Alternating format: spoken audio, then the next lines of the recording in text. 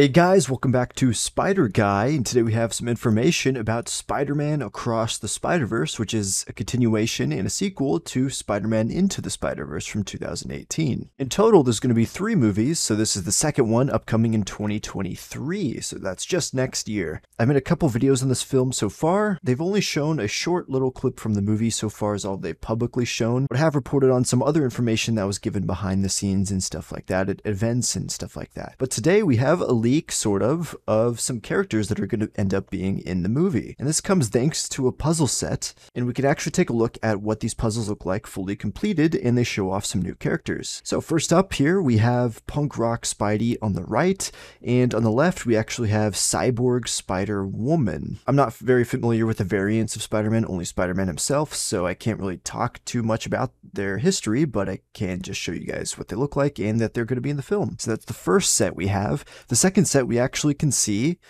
Spider-Man 2099, of course we know he's going to be the film, and we actually have Ben Reilly who's going to be on the right side there.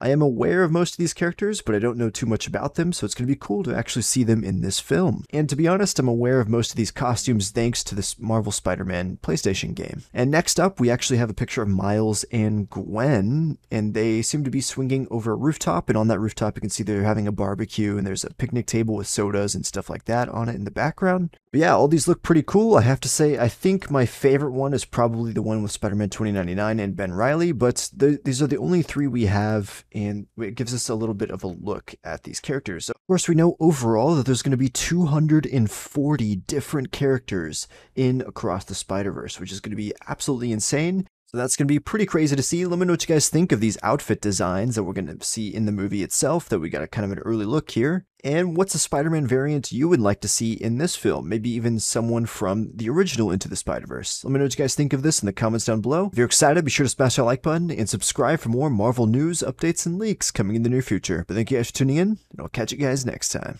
Peace out.